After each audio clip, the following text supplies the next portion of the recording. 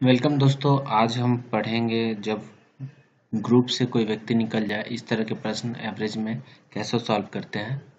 देखिए, आज का जो क्वेश्चन है ट्वेंटी ट्वेंटी स्टूडेंट्स है, उसकी एवरेज एज दी हुई है एवरेज एज ये स्टूडेंट्स ट्वेंटी स्टूडेंट्स है एवरेज एज बारह है। अब इस ट्वेंटी में से एक एक जो बंदा है, वो अपना ट्रांसफ़र कहीं करा लेता है तो अब 19 बचती है। तो इस 19 की एवरेज आयु में 0.2 की कमी हो जाती है, यानी ये जो है 0.2 की कमी हो जाती है माइनस ज़ीरो पॉइंट टू की। तो अब जो न्यू है, वो बनती है 11.8 ये क्वेश्चन दिया हुआ है।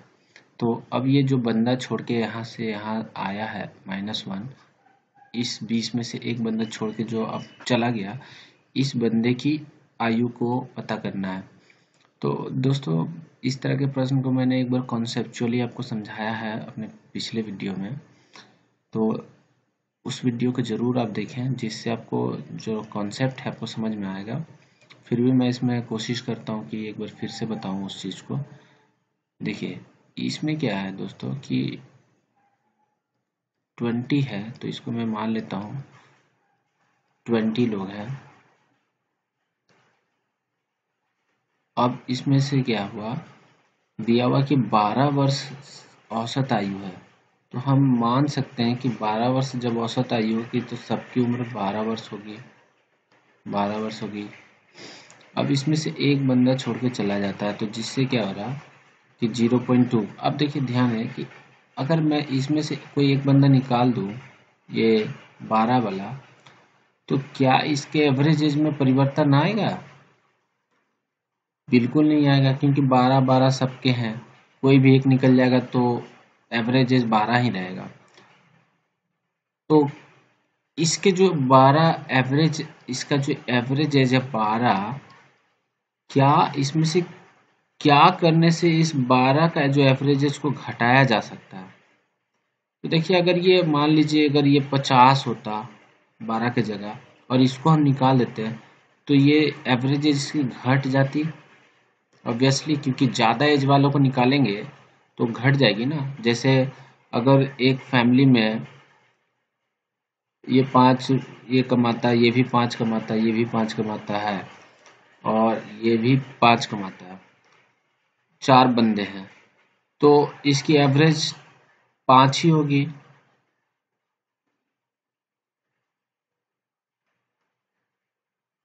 ये पाँच इसकी जो एवरेज है अब मैं इसको निकाल दूँ तो इसकी एवरेज क्या होगी? पाँच होगी। इसको निकाल दो तो भी पाँच होगी।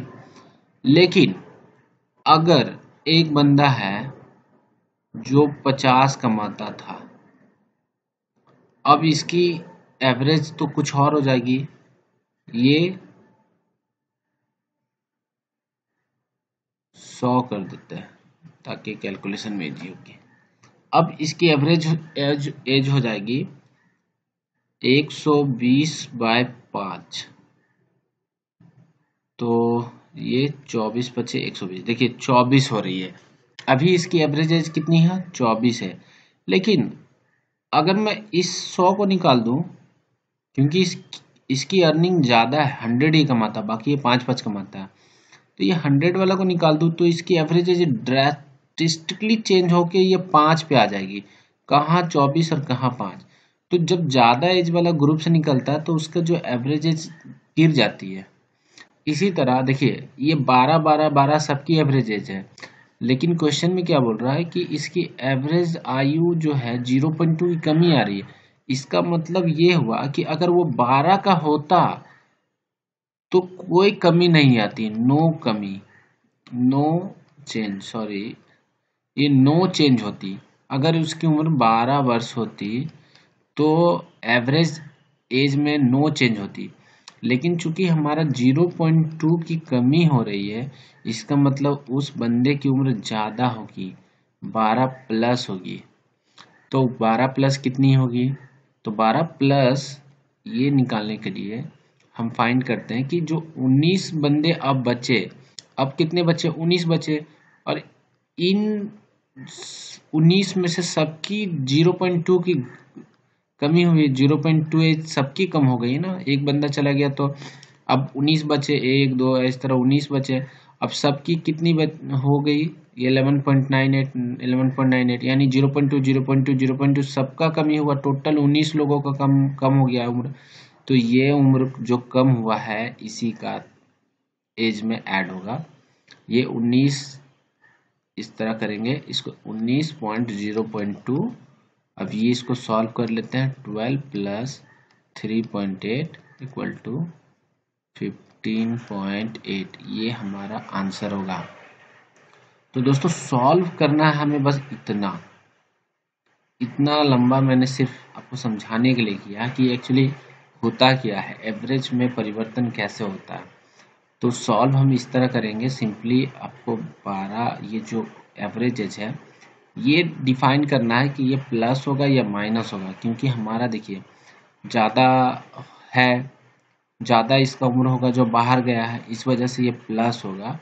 और कितने की कमी हुई है तो 19 लोगों, अब 20 थे, अब एक चला गया तो बच्चा 19 ही बचा हमारे ग्रुप में। तो 19 को मल्टीप्लाई करेंगे, जितनी कमी हुई है 0.2 की कमी हो रही है, इतना एज हम लोगों में से घटा दे रहे हैं। यानी ये सारा इसके खाते में जाएगा, जो छोड़ के चला गया। तो ये 15.8 हमारा आंसर होगा। आशा करता हूँ दोस्तों, आपको ये थोड़ा समझ में आ रहा होगा। अगर आप थोड़ा सा भी बेसिक्स जानते होंगे, पहले आपने वीडियो देखा होगा तो आपको ये समझ में आ जाएगा। आप एक दो बार इसको देखिए, अगर नहीं समझ में आता तो प्लीज़ कमेंट करें। कमेंट कीजिएगा तो मैं, हो सकता कि इसी वीडियो को कुछ और तरह से एक्सप्लेन करने की कोशिश करूँगा, जिससे आपको समझ में आए। ज़रूर आप कमेंट करें, ताकि इससे मुझे पता चलता है कि मैं जो बता रहा हूँ, आपको समझ में आ रहा है या नहीं आ रहा। क्योंकि ये तो मैं जानता हूँ, मैं बना दे रहा हूँ। बट मेरा मकसद है कि जो एकदम ज़ीरो लेवल पे बैठा हुआ बंदा है ज़ीरो लेवल पे, उसको ये समझ में आ जाए। मेरा इस वीडियो बनाने का कोई मकसद नहीं कि मैं पैसे कमाऊँ। बस मेरा मकसद है कि जो डिप्राइव्ड लोग हैं, उनको ये फ्री ऑफ़ कॉस्ट उसको ये फ़ायदा मिल सके और उसको सही ढंग से वीडियोस मिल सके सही कॉन्सेप्ट्स के साथ में। तो दोस्तों नेक्स्ट वीडियो में मिलते हैं।